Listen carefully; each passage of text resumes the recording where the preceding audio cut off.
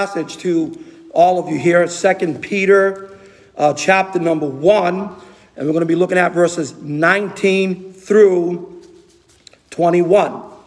Second Peter chapter 1, and I'll read verses 19 through 21. Peter the apostle is saying, We have also a more sure word of prophecy. Amen.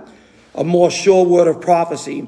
And he says in um, 2 Peter chapter 1, verse 19, we have also a more, I'll circle this, sure word of prophecy. You can take that to the bank. Amen. We have a more sure word of prophecy, whereunto ye do well that ye take heed, as unto a light that shineth in a dark place, until the day dawn and the day star arise in your hearts. Knowing this first, that no prophecy of the scripture is of any private interpretation. It's not of human origin. This book is the inspired, inerrant, authoritative word of the living God. Verse 21 For the prophecy came not in old time by the will of man. See, there it is right there. Doesn't come from human origin. By the will of man, but holy men of God spake as they were moved by the Holy Ghost. Let's pray this morning. Our gracious Heavenly Father, we're so thankful for this opportunity, Lord, to uh, be here at New England Baptist Church, and we're so thankful for the ministry of Central Baptist Church and Pastor Townsley, and uh, for what is being done here in this ministry, being a light uh, to the people of Southington and the surrounding areas, and preaching the good news of the gospel of Jesus Christ. Lord, uh, I'm just uh, thrilled in my heart to see these, these young people here at this school, Lord, studying the word of God, preparing themselves for ministry, for the, for the plan, Lord, uh, that you have for uh, their very lives. You have a plan, Lord, for each and every one of us.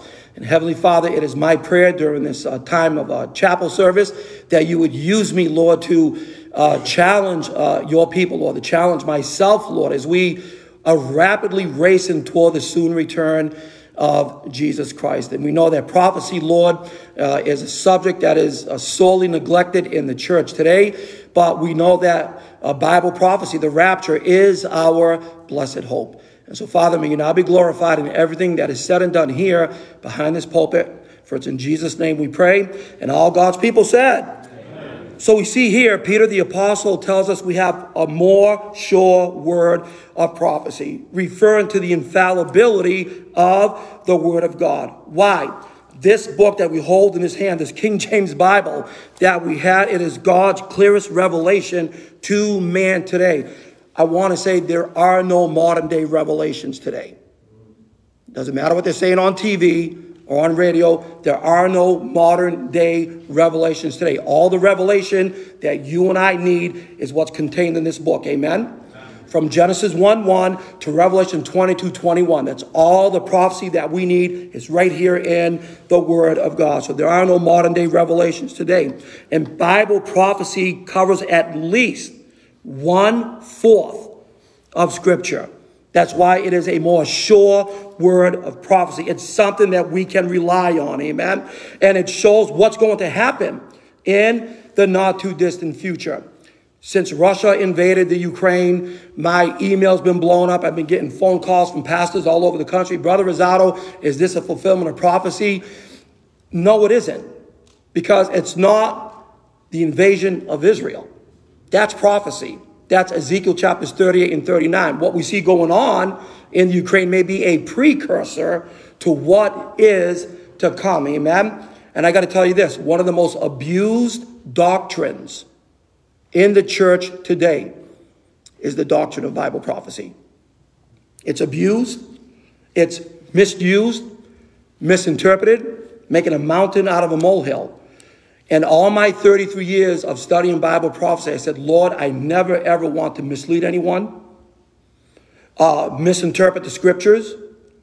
I want to teach Bible prophecy responsibly.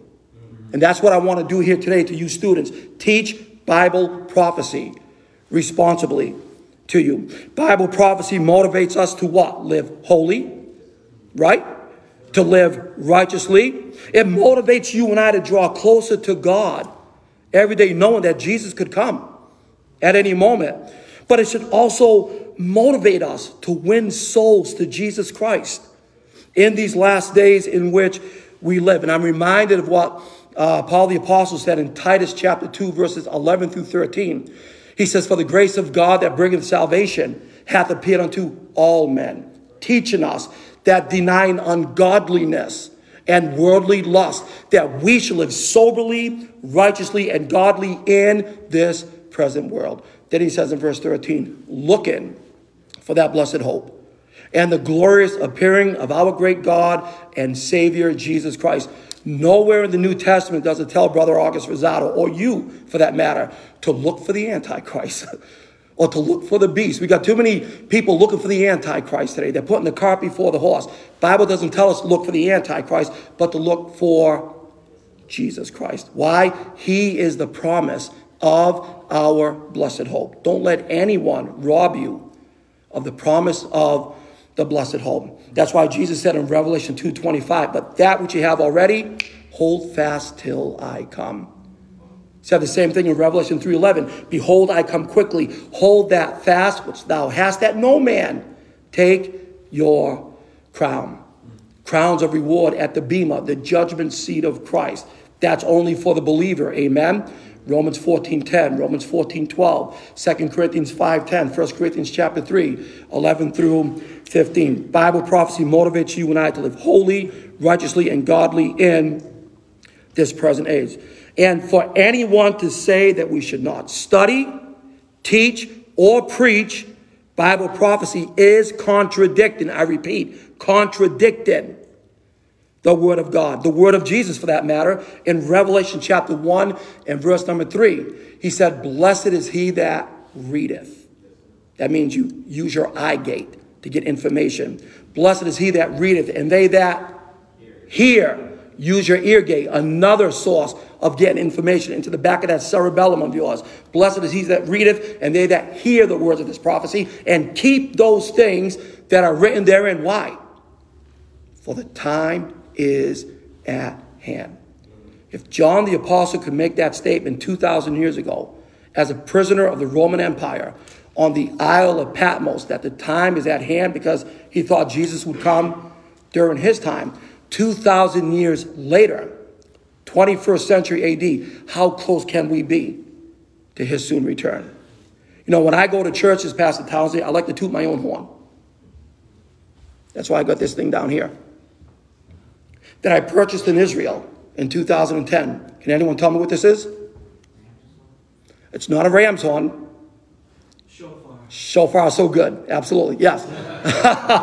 it's a shofar, but this is a Yemenite shofar. It's a longer version of a shofar. But the ram's horn, that's a shofar. That's a biblical shofar out of Genesis chapter number 22. And I'm convinced that when we see that word trumpet in the Bible, it's referring to a shofar. You say, well, how do you know that? Well, a simple reading of Joshua chapter 6, verses 4, 5, 6, 8, 13 tells us five times the priest, the Kohen Hagadol, the priest blew the trumpet of ram's horns. Ram's horn in Hebrew is a shofar. So one day a shofar from heaven is going to sound. It's going to be so loud, the dead in Christ shall rise first. They got six feet further to go, but they go first. But then we, which are alive and remain, will be caught up together with them in the clouds to meet the Lord in the air. And so shall we ever be with the Lord. Wherefore, the Bible says, comfort one another. Aren't those comforting words? To comfort one another with these words. Prophecy is 33% of the Bible. For example, if you take Daniel chapter 1 all the way to Revelation chapter number 22, you are looking at at least 400 chapters of the 1189 chapters of scripture that deal with Bible prophecy. So if it's important to God, it should be just as important to us. Amen. Do not neglect the study of a doctrine that permeates at least one fourth of Scripture. Think about this with me. Of the Bible's 31,124 verses, 8,352 of those verses deal with predictions, dealing with future events. And Bible prophecy should be studied. Now, listen to me studied for its plain sense interpretation. You know why? The Bible is its best known interpreter. It doesn't need the help of Brother August Rosado. Doesn't need the help of some other prophecy scholar out there. The Bible is its best own interpreter. Because if the plain sense makes sense, don't look for any other sense, or you will end up with nonsense. And again, when it comes to Bible prophecy, there is a lot of nonsense out there in the world today because everybody wants to play the guessing game at, oh, who is the Antichrist? Oh, Brother August, do you know who the Antichrist is? No, and I don't care because I'm not looking for him. I'm looking for my Savior. I'm looking for the promise of the blessed hope. Now, I know we have a job to do while we're here. Amen. Redeem the time because the days are evil. Ephesians 5 16. And it blesses my heart to see you young people out there soul winning, sharing the gospel of Jesus Christ with people that you come into contact with. That is our mandate from the Lord to be soul winners, right? Mark 16, 15, go ye into all the world and do what? Yeah, preach the gospel to every creature. Again, whosoever salvation, amen. Salvation is sufficient for all, but efficient for those who call upon the name of the Lord. Proverbs chapter 11, verse 30 The fruit of the righteous is a tree of life, and he that winneth souls is wise. That is our mandate. That is our job given from our commander in chief. Amen. Not the guy in the White House. I'm talking about our Lord and Savior Jesus Christ above. Amen. He commanded us to go into all the world and preach the gospel to every creature. Why? We don't know how much time we have left. Ladies and gentlemen, we don't know how much time we have left. The church age could end this morning. That trumpet could sound this morning. And when it does, we're taken out of here. And anyone left behind at the rapture, you're in serious trouble. You know why? Anyone left behind will go through a devastating period, unprecedented. The 70th week of Daniel's prophecy, aka a seven year period of tribulation. And during that seven year period of tribulation, God is going to pour out 21 judgments on this earth. Seven seals, Revelation chapter 6. Seven trumpets, Revelation 8 2. Revelation chapter 9. Seven vials, seven bowl judgments, Revelation chapter 15. Revelation chapter 16. All seven years is the wrath of God. And you and I, as a church, will have no part of this whatsoever. That's the reason why Paul the Apostle said in verse 18, Comfort one another with these words. That's why Jesus said in John 14, 1, let not your heart be troubled. We live in a troubled world. We know that. That's obvious. But he said, let not your heart be troubled. Why? He's going to take us out of here. When that trumpet sounds, we're gone. We're out. The dead in Christ rise out of those graves. Those of us alive at the time of the rapture are taken out of here. Someone says, well, what if you die before the rapture, Brother August? Well, that's out of my hands, man. I have no control over that. That's in God's hands. But if I die before the rapture, I've already instructed my wife to do this. I want this on my headstone. Here lies Brother August Rosado, only renting this spot. We'll be leaving soon. Amen? The dead in Christ will rise first. But if I'm alive at the time of the rapture, that works too. Amen? Because I'm really, I'm not looking for the undertaker, but I am looking for the upper taker. I'm looking for the coming of the Lord Jesus Christ. I'm not looking for the beast. I'm looking for the Son of God. I'm looking for the coming of our Lord Jesus Christ. The Bible is its best own interpreter, interpreter, and we must apply a proper biblical hermeneutic. You're in Bible college. You're going to take a course on hermeneutics if you haven't already. Hermeneutics is the science of biblical interpretation. Who's speaking? Who's he speaking to? What is he speaking about?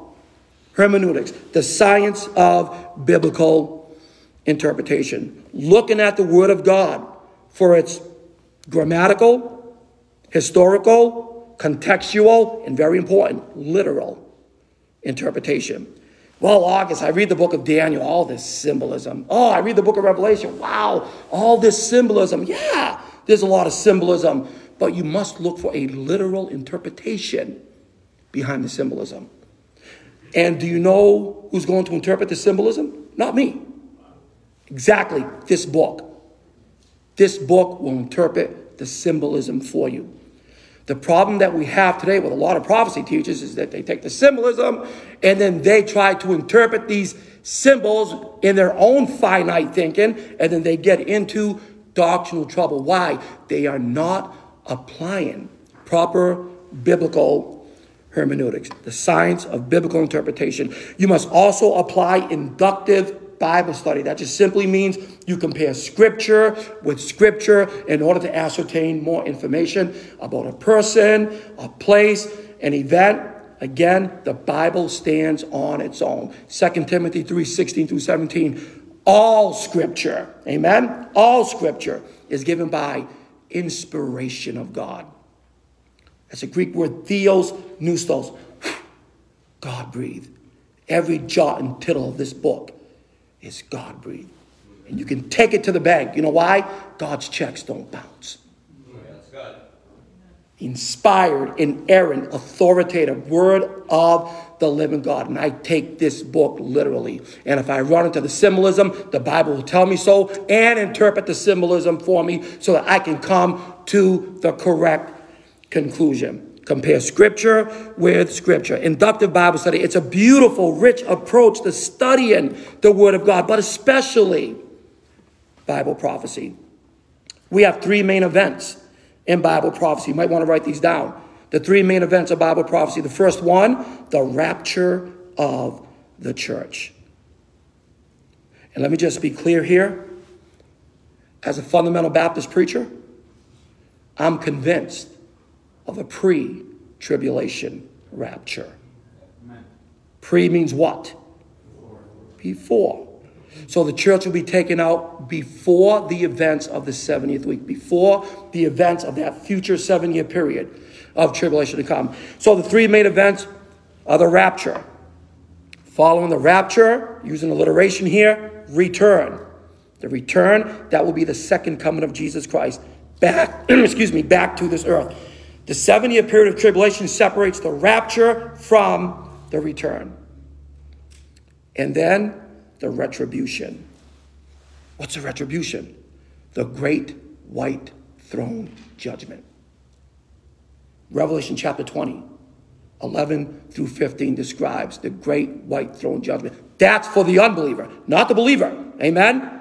For the believer, there's the Bema, the judgment seat of Christ.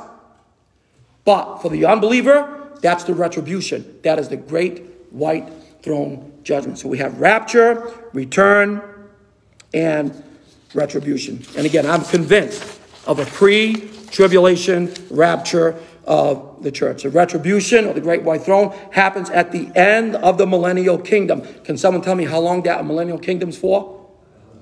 Now, how do we know it's a thousand years? The Bible tells me so six times to be exact. Revelation chapter 20, 2 through 7 tells us six times he will reign for a thousand years. From a city I have been to 27 times, the holy city of Jerusalem. One little, little Hebrew. I want everyone to say Yerushalayim. Isn't that a beautiful Hebrew word? Yerushalayim. Jerusalem. He's going to reign from that very city for 1,000 years. In all my 27 trips to the Holy Land, I see these little Jewish boys and girls singing in the streets. And they sing a song that I love to hear when I'm in Israel. It's called Jerusalem, City of Gold. V'she'or, haloli kol shi'arik ani kinor. Jerusalem, the city of gold, let me be a violin unto all your songs. That's why Jesus said in Matthew 5:35, Jerusalem, the city of the great king. Because one day the King of Kings and the Lord of Lords will reign from that very city. When I look at the millennial kingdom, that is a literal, physical, bodily reign of Jesus Christ from a physical, literal city, the holy city of Jerusalem. And those of us that know him as Lord and personal Savior, we're going to reign with him in that city for 1,000 years. So I'm here to tell you this morning for a thousand years, you're all going to be Israelis. Because you're going to reign with the greatest Jew, the greatest rabbi, the greatest Israeli to ever walk the face of this earth. And yeah, I'm going to speak in a little tongues this morning. Yeshua HaMashiach ben David ben Abraham, but at least I know what I'm talking about. Hebrew, Jesus, the Messiah, the son of David, the son of Abraham, will one day reign from that very city. Then we have three main books of Bible prophecy. We have Ezekiel, Ezekiel, God's program for Israel. Ezekiel, God's program for Israel. Then we have the book of Daniel, God's program for the Gentiles, his program for the Gentiles. And then Revelation, God's program for the church. And what is a program for the church? Taken out of here. Revelation 4 2, come up hither. And then a reading of Revelation chapters 4 and 5, we're around the throne of God. Amen. There are four living creatures in front of the throne of God, mentioned in Ezekiel chapter number 10. And then John talks about the term four and 20 elders. I believe that's a reference to the raptured church. And you'll find that multiple times in the book of Revelation. And the scene is always in heaven. The four and 20 elders. Revelation 4 4, 4 10, 5 8, 5 14, 7 11, 11 16, 14 3, 19 3. The 4 and 20 elders. Us, the redeemed, raptured church in heaven. Then John said, I saw angels. Now, Daniel 7 10 tells us 10,000 times 10,000, but doesn't tell us who the 10,000 times 10,000 are. So I apply inductive Bible study. I go to Revelation 5:11. John said I saw angels 10,000 times 10,000 and thousands of thousands around the throne of God. You do the math on that. 10,000 times 10,000 is 100 million plus angels. Woo! That's a lot of angels, amen. And we are all around the throne of God and we are praising him up there in heaven sometime after the rapture of the church. Then we have the three strands of the human family according to Bible prophecy Gentiles. God's program for the Gentiles, Genesis chapters 1 through 11. Then the second strand of the human family, Jews. Genesis 12 to Acts chapter 1, God's program for the Jewish people. And then his program for the church, Acts chapter 2, Pentecost, up until the rapture of the church, Revelation chapter 4 and verse number 2. That is how God divides humanity today. What did Paul say in 1 Corinthians 10:32? Give none offense to the Jew, Gentile, church of God. That is how God divides humanity today. Jew, Gentile, church of God. Unbelieving Jew, unbelieving Gentile, born again Jews and Gentiles that make up what? the church, the body of Christ. God has a program for all three strands of the human race. The three main passages that deal with the rapture, write these down John 14, 1 through 3. I love John 14, 1 through 3. Let not your heart be troubled. Ye believe in God, believe also in me. In my Father's house are many mansions. My King James says mansions. I love that. Mansions. If one else, I would have told you. I go to prepare a place for you. And if I go and prepare a place for you, I love these four words I will come again.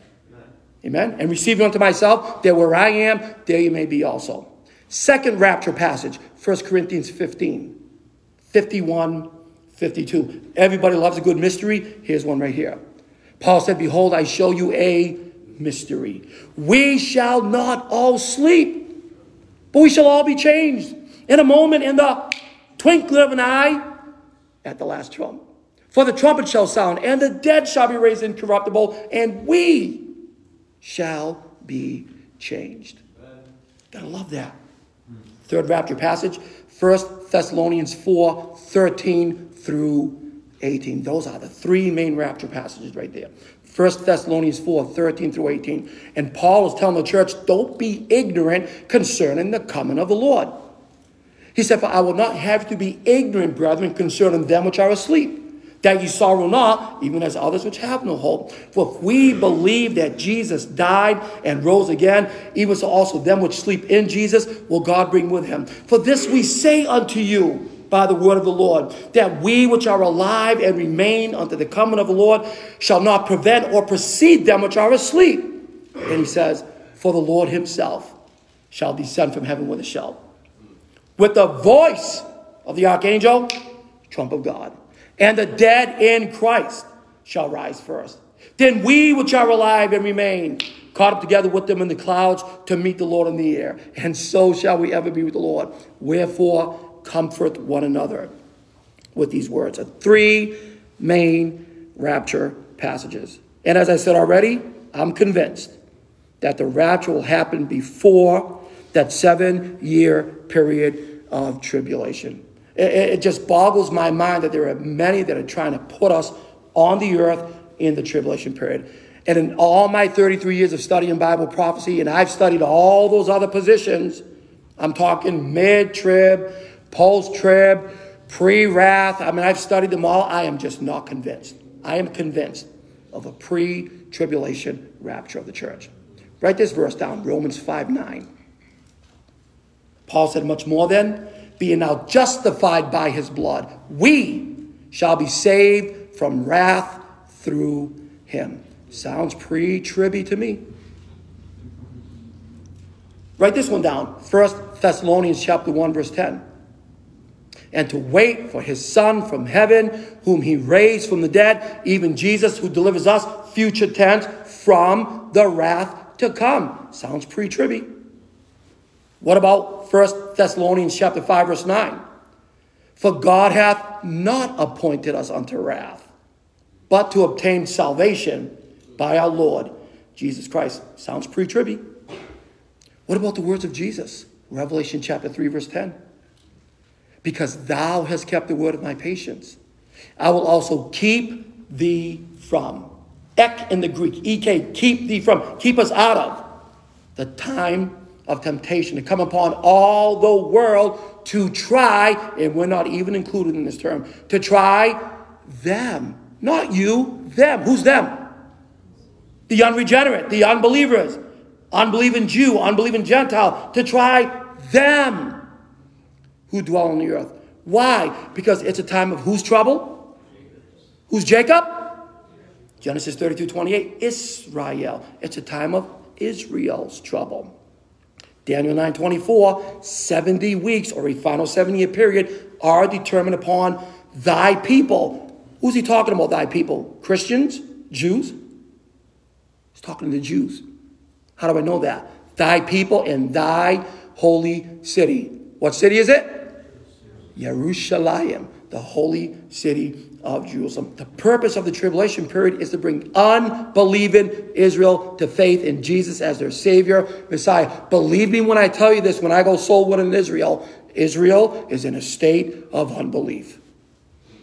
They still reject Jesus as the Messiah. They don't believe in the New Testament whatsoever. And to them, we Christians have got it all wrong. But when I challenge them, not even using the New Testament, when I challenge them using the Old Testament and all the messianic prophecies, they don't know how to answer me. When I use Isaiah 53, who's that talking about? Well, that's talking about the sufferings of the nation of Israel. No, because of the personal pronouns in Isaiah 53. He's talking about one person dying for the sins of all. And if this was talking about Israel, how can Israel die for the sins of Israel? And then they look at you like a deer in the headlamp. They don't know how to answer that. Because the rabbis always tell their people two passages you don't deal with. You don't deal with Isaiah 53, and you don't deal with Daniel 9 24 through 27, the 70 weeks of prophecy. Because the 70 weeks of prophecy gives us a timeline for the coming of the Messiah and for the death of the Messiah, and they won't touch that with a 10 foot pole. So we, we use all these messianic prophecies when we're out there in Israel sharing the gospel with them. It's a time of Jacob's trouble. It's all about the nation of Israel to bring them to faith to Jesus Christ as their Savior and Messiah. And unfortunately, they got to go through a seven year period of tribulation to do exactly that, as well as the unbelieving Gentile nations of the world. So it's a time of Jacob's trouble, not the church's trouble, Jacob's trouble. Amen. This has nothing to do with the church at all. And if you ever run into any of these other guys that uh, say, well, no, I think we're going to go through the tribulation period, use the book of Revelation as a prime example that we will not be here. And this is what you tell them the church is mentioned 25 times in the book of Revelation. The church is mentioned 19 times before Revelation 4 2. This is way before the tribulation period begins. 19 times before Revelation 4 2. And then the church is mentioned another six times after Revelation 19 11. This is after the tribulation period. In between those 15 chapters, 4 through 19, that cover the seven year period of tribulation, the church is not mentioned as being on the earth at all. Either God forgot to put us there, or we're just not there. right? Just how do I come to that conclusion? A plain sense interpretation of Scripture. Again, if the plain sense makes sense, don't look for any other sense. You're going to end up with nonsense. You got to avoid that YouTube eschatology out there, okay? But what is eschatology? It's a fancy word. I know you learned this in school here. It's a fancy word that simply means the doctrine of last things. The doctrine of the end times. But let me just differentiate here with the little time we have left. We're not in the end times right now. did I just hear you, Brother Rosado? Yeah, you did. We're in the last days. The last days of the church age that began at Pentecost, Acts chapter 2, will end at the rapture of the church. We are in the last days right now. Don't believe me? Read 2 Timothy 3, 1 through 5. It's like reading the front page of a local newspaper for crying out loud. This Bible is an up to date book. Paul said this, know also that in the last days, perilous times shall come. I think we're living in those perilous times right now. How about you? Then he gives me 19 characteristics. I've counted. I've circled 19 characteristics. For men shall be lovers of their own selves, covetous, boasters, proud, blasphemers, disobedient to parents, unthankful, unholy, without natural affection, truce breakers, false accusers, incontinent, fierce, despisers of those that are good, traitors, heady, high-minded, man, lovers of pleasures more than lovers of God, having a form of godliness, but denying the power thereof from such. Turn away. We're in the last days. When the church age ends at the rapture, we're taken out of here, then down the road, the end times will commence with a seven year period of tribulation. That will be the beginning of the end times. And the church will not be here. Amen. Why? Jesus said, I will take you out. Ek, EK, I will take you from that hour of temptation. Then when we're in heaven, at the rapture, we're going to be in heaven for just a brief seven years. While the earth below is going through what? A seven year period of tribulation. And in heaven for those seven years, we have a date with the King of the Jews. The judgment seat of Christ. I told you already, Romans 14 10, Romans 14 12, 2 Corinthians 5 10, 1 Corinthians 3 11 through 15. And when that's all said and done, there's going to be a beautiful Jewish wedding. I've been to those Jewish weddings in Israel, man. And you know something? The, the bride and the groom are in that honeymoon chamber for seven days before they come out and have the wedding feast with their family. Seven days. That corresponds to the Jewish wedding customs of John 14, 1 through 3. Then after that wedding, there's going to be a wedding feast. That's Revelation 19, 7, 8, 9. Let us be glad and rejoice and give honor unto him, for the marriage of the Lamb is come, and his wife hath made herself ready. And to her was granted that she should be arrayed in fine linen, clean and white, for the fine linen is the righteousness of the saints. And he saith unto me, Write, blessed are they which are called to the marriage supper of the Lamb. And he saith unto me, These are the true sayings of God. And then when we have our fill of whatever he's going to feed us with up there, we're going to get back on white horses. Coming back where? Terra firma. Planet Earth. To what city? Jerusalem. That's Revelation 19, 11 through 16.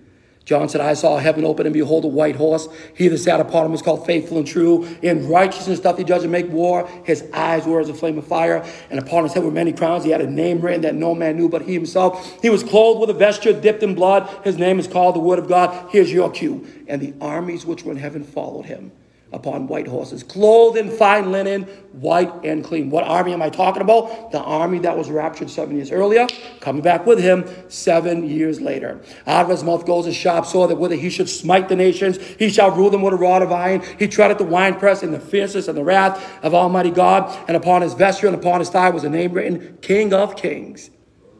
Woo! And Lord of Lords. I'll tell you, it doesn't get any better than that. Amen. I'm going to have to stop right here. What did Jesus say? When you see prophecy unfolding in its early stages, you better start looking up. I'm about to call my bride out of the world. He said in Luke 21 28, when you see these things begin, not fulfilled, begin to come to pass, look up. Lift up your heads, for your redemption draweth nigh. What redemption? The next main event on God's calendar of activities the rapture of the church. Let's get busy for the Lord, winning souls, studying His Word, being faithful to the house of God, fellowshipping with one another. Study, right? 2 Timothy 2.15, that's why you're here. Study to show thyself approved unto God, a workman that needeth not to be ashamed, rightly dividing the word of truth. Let's get busy, serve the Lord until one day we hear.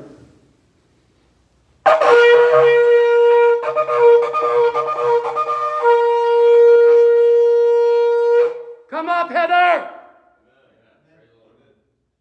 And faster than you can blink your eye, boom, we're out of here. You know something? I never was an astronaut, but one day I'm going to be a was not.